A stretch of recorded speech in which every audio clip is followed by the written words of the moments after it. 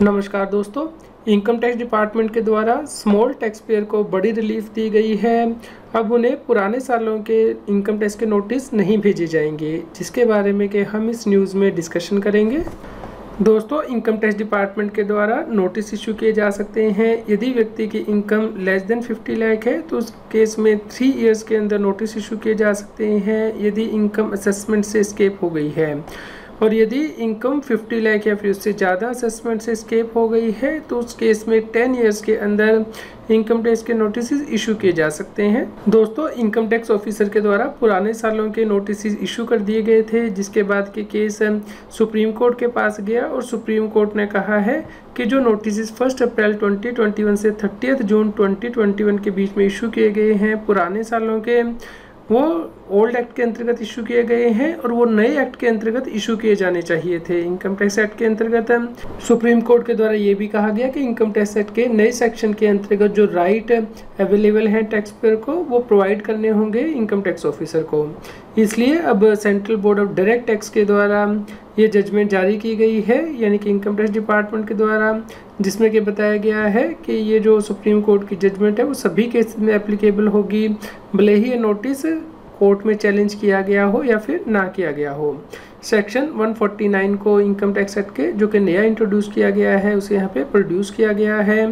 कि कब असेसमेंट की जा सकती है टाइम लिमिट क्या है, यानी कि three year from the end of the relevant assessment year unless case fall in subcategory B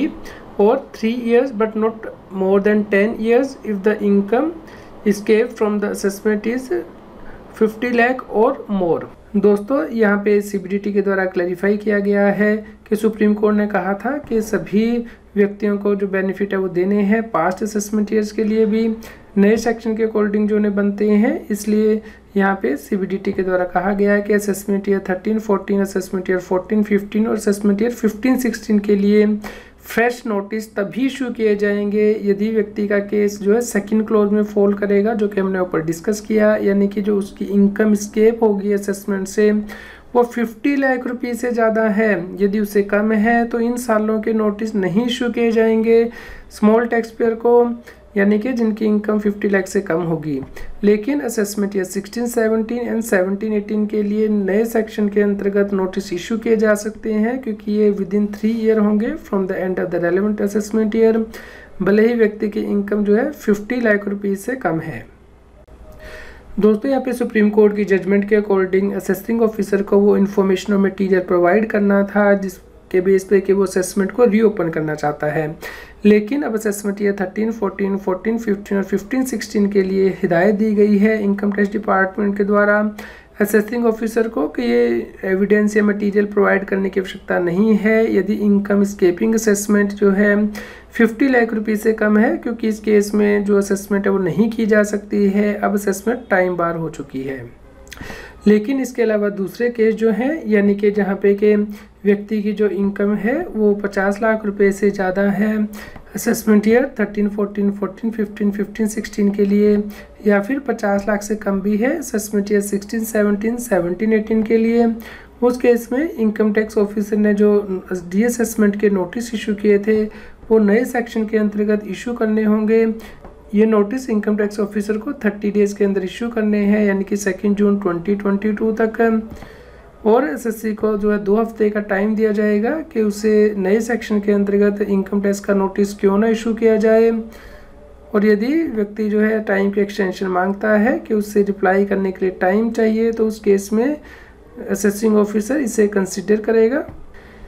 जब टैक्स पेयर अपनी रिप्लाई सबमिट कर देगा तो उस केस में इनकम टैक्स ऑफिसर ये डिसाइड करेगा कि क्या फिट केस है इनकम टैक्स एक्ट के अंतर्गत असेसमेंट करने के लिए। इस केस में असेसिंग ऑफिसर को ऑर्डर भी पास करना होगा with prior approval of specified authority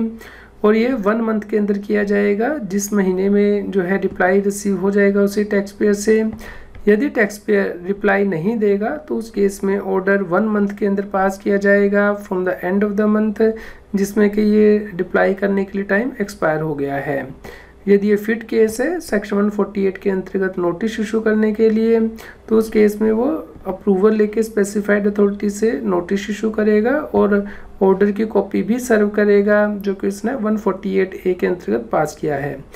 यदि ये फिट केस नहीं है नोटिस इशू करने के लिए तो उस केस में जो ऑर्डर पास किया गया वन फोर्टी एट ए के अंतर्गत, वो भी एस को सर्व किया जाएगा।